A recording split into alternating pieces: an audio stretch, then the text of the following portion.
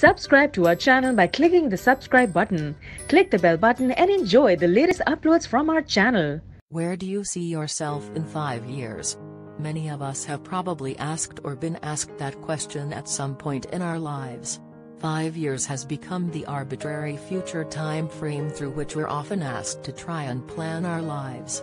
It's a period of time in which a lot can change, yet one that's short enough where you can reasonably try and plot out where you'll be when it elapses. Ron Hextall, who took over as general manager of the Flyers a week after their 2014 postseason ended, is in his fifth off-season as general manager of the Flyers.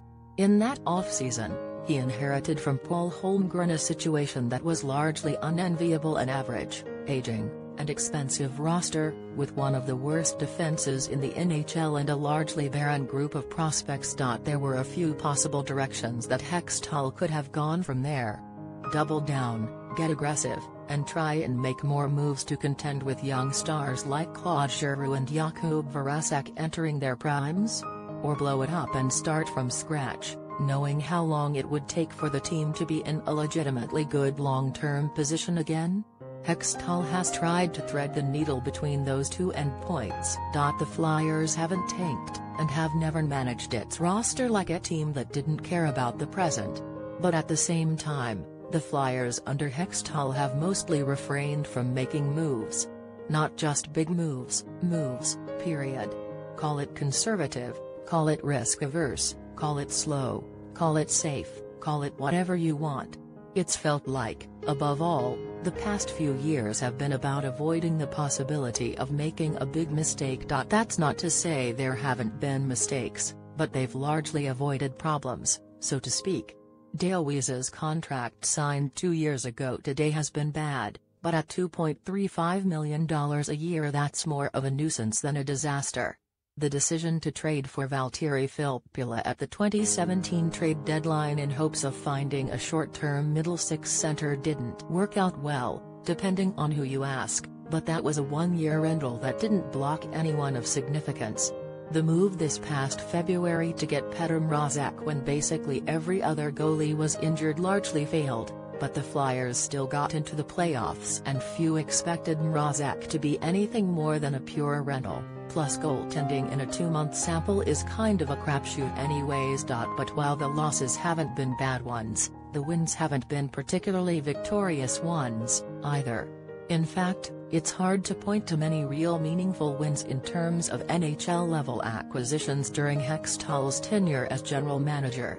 Radko Gudas has probably been the team's most successful acquisition of the past four years, and somewhat ironically, he was a throw-in in a sell-off trade where Braydon Coburn was sent to Tampa. For the past four years, the Flyers have largely made small strokes while they waited for Hextall to replenish the farm system. On that front, Hextall has objectively done a good job. The Flyers had what was widely seen as the top-ranked prospect pipeline in the league as recently as last summer, and they've still got depth on the way at basically every position even after about a half dozen graduations in the past few seasons. This is outstanding, and consistently having good young players available is crucial to maintaining success in a salary cap league. Yet it's hard to just wait the requisite amount of time for a bunch of young players to prove that they're NHL ready and then grow familiar with the NHL itself. It's especially hard to do that when those young, prime age stars that were there when Hextall took over will be 29 and 30 years old when the puck drops on next season. And as exciting as it's been to see guys like Shane Gostisbehere, Ivan Provorov, and Travis Konecny emerge onto the NHL scene in the past few years, it's hard to really keep a fan base's attention and confidence when the on-ice product is basically about the same average quality right now as it was when you first took over four years ago. Far too often, it's felt like the actual urgency to win games in the here and now just wasn't there. The way Hextall's talked about this team in his time here, it'd have been reasonable for fans to wonder if the team would really ever try and make big moves. Hextall's proud of the work he's done to replenish the pipeline, as he should be. And in his defense, until this offseason, cap space has been pretty tight ever since he arrived here, largely thanks to contracts signed by his predecessor, so to some extent his hands have been tied at the NHL level. But rarely do teams draft, develop, and plan well enough to simply succeed by doing